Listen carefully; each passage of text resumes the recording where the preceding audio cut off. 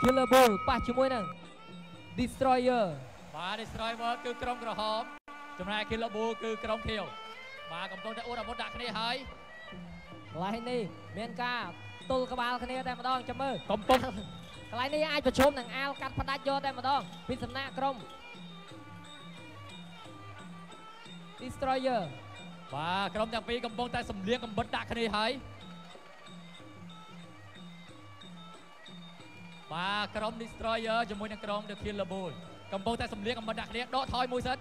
ចូលទៅថែវិញដាច់អូហើយទៀតអាវុធចេញបាត់ទៅហើយបាទកុំតនអែលអស់សង្ឃឹមព្យាយាមលេងបន្តទៀតពេលវេលានៅសល់តើច្រើនតើ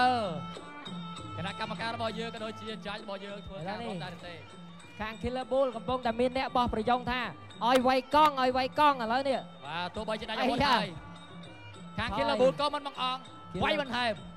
Killer Bull Killer Bull ថយមួយសិន គៀងគៀងគៀងកន្លែងនេះវាយបានឬយ៉ាងណា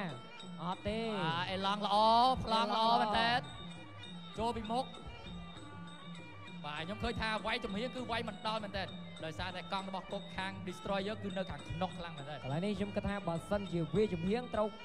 ទៅរុញផ្ទុកចូលគៀនទៅបាច់វាយបានយ៉ាងណាមិញចាំមើលការប្រកួតចាក់ស្ដែងបាទក្រុមទាំងពីរកំពុងតែ សម្លឹងគ្នាទៅវិញទៅមកគណៈពេលវេលានៅសល់1នាទី32វិនាទីឥឡូវនេះគិតយ៉ាងណាដែរសម្រាប់បាទមានការបោះពីយកមកពីខាងក្រោយថាបាទហើយជប់បាយទៅ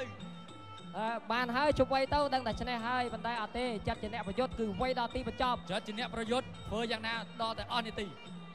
យើងនៅសល់ពេល1នាទីនិង10វិនាទី ថយរយឡងអាលផ្ដាច់កង់តែម្ដងបាទកន្លែងនេះយ៉ាងណាអ្នកដែរបញ្ជានេះគឺមានចិត្តកាច់សាហាវខ្លាំងមែនទែនគឺមិនបង្អន់ឲ្យក្រុម Destroyer ឡើយដល់សល់1នាទីហើយយ៉ាអ្នកខាងបោះប្រយ៉ងកំពុងតែព្យាយាមបលាយឲ្យដល់ពេលហ่ะប៉ុន្តែអ្នកដែលបញ្ជាគឺចង់វៃបាទគូចុងក្រោយនេះថាតើក្រុមមួយណាគឺជាជ័យលេខ2 អាចទៅបន្តនៅវគ្គបន្ទាប់ឱកាសមានតែមួយគត់ជាលើកចុងក្រោយសម្រាប់ឡើងទៅវគ្គបន្ទាប់